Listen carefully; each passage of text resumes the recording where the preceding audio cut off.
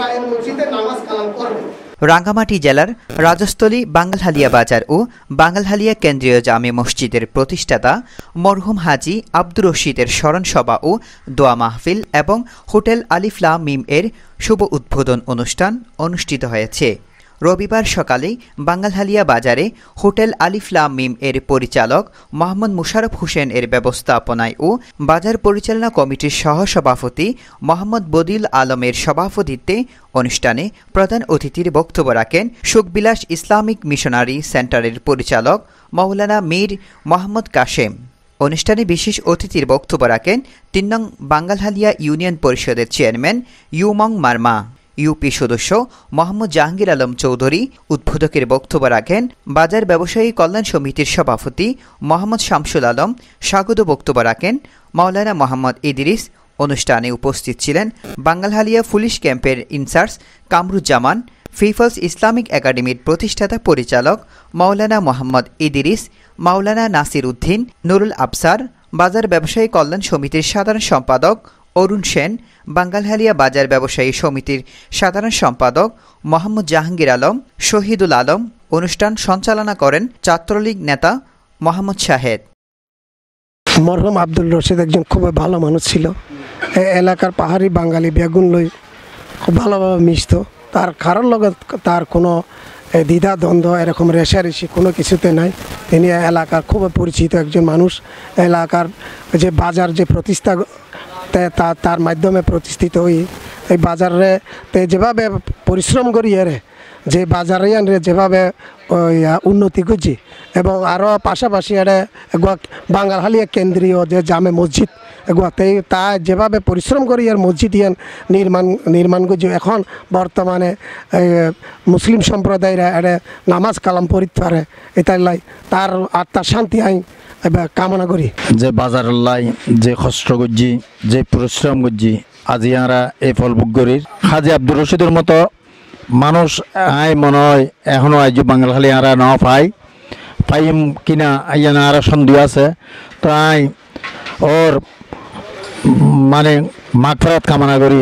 আর আসলে তার অনেক স্মরণীয় কাজ করে গিয়েছেন যেগুলো আসলে আমাদেরকে মুগ্ধ করেছে।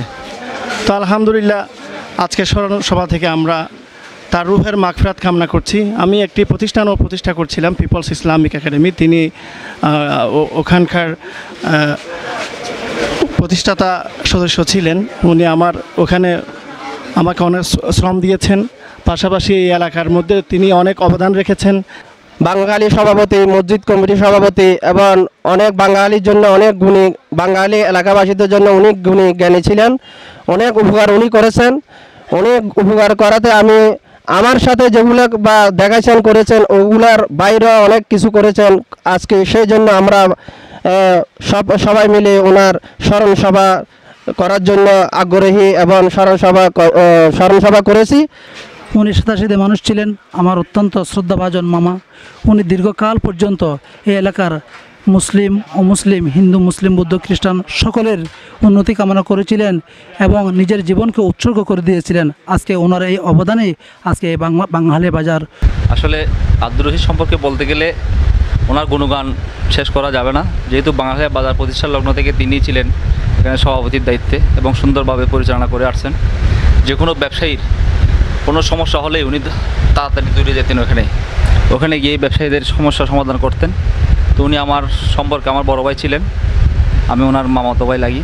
আমি মোহাম্মদ জাহাঙ্গীর হোসেন, বাংলাদেশ বাজার ব্যবসায়ী কল্যাণ সমবায় সমিতির সেক্রেটারি তো আসলে ওনার গুণগান গিয়ে তো শেষ হওয়া যাবে না। আমি সবার কাছে ওনার মাগফারাত কামনা করছি। ধন্যবাদ। হারাধন কর্মকার একজন সংবাদ প্রতিনিধি প্রতিনিধি হিসাবে। আমি যতটুকু জানি, আজকের যে স্মরণ সভাটা অনুষ্ঠিত হয়েছে, আসলে হাজি আব্দুর রশিদ, তিনি অত্যন্ত একজন ভালো মানুষ ছিলেন। আমার জানা মতে, তিনি একজন অসাম্প্রদায়িক ব্যক্তিত্ব। বাঙালখালিয়া বাজার ওনা ওনার মতো ব্যক্তির প্রয়োজন আছে। তা বাঙালখালিয়া বাজারবাসী ওনাকে স্মরণ করে, শ্রদ্ধা করে। তাই আজকে স্মরণ সবাই ওনার আত্মার মাগফরাত কামনা করছি। বাজার প্রতিষ্ঠা লগ্নে উনি অত্র বাজারের যথেষ্ট অবদান ছিল ওনার। আর অত্র বাজারের আজ আমরা এতিমের মতো, যাকে আমরা আমাদের বড় একজন অভিভাবককে আমরা হারিয়ে ফেলেছি। সুখে দুঃখে উনি আমাদের পাশে ছিলেন। অত্র ব্যবসায়ী বাজারের প্রত্যেক ব্যবসায়ীদের জন্য সুখে দুঃখে সবার সাথে ছিলেন উনি।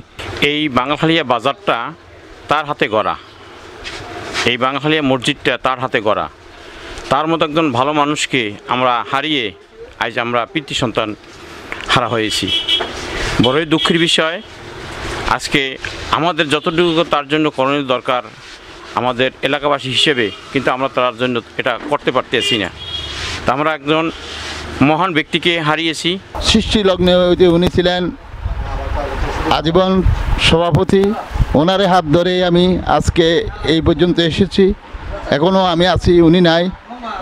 ওনার অক্লান্ত পরিশ্রমে এই বাঙাল হালিয়া বাজার সৃষ্টি হয়েছে এবং ওনা, ওনার এই ঘরে, এই বাজারে আজকে আমরা নেতৃত্ব দিচ্ছি।